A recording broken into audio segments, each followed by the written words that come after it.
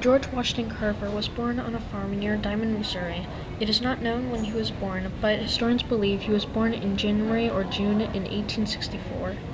During the American Civil War, uh, the Carver farm was raided, and infant George and his mother were kidnapped and taken to Arkansas to be sold.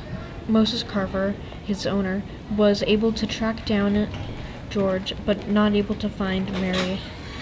George, uh, George stayed on the plantation. From his work at Tuskegee, Carver developed approximately 300 products made from peanuts. These included flour paste, insulation, paper, wallboard, wood stains, soap, shaving cream, and skin lotion.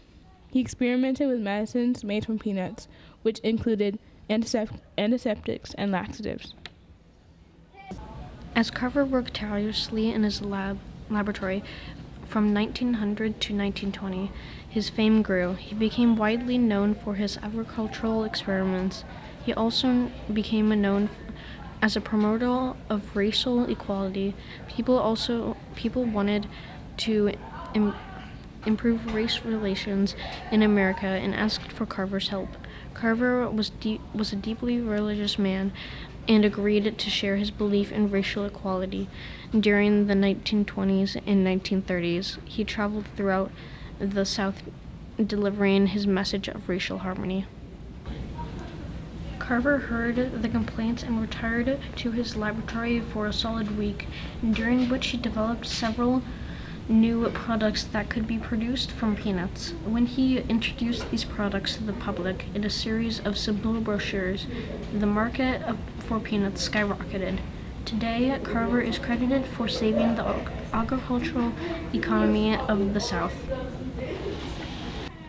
In the last two decades of his life, Carver was focused on helping people. He traveled south to promote racial harmony, and he traveled to India to discuss nutrition in developing nations with Mahatma Gandhi. In the mid 30s, the polio virus raged in America.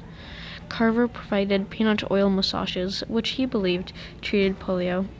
Carver died January 5, 1943, at Tus- Tuskegee Institute. Soon after Carver's death, Franklin D. Roosevelt signed legislation for Carver to receive his own monument.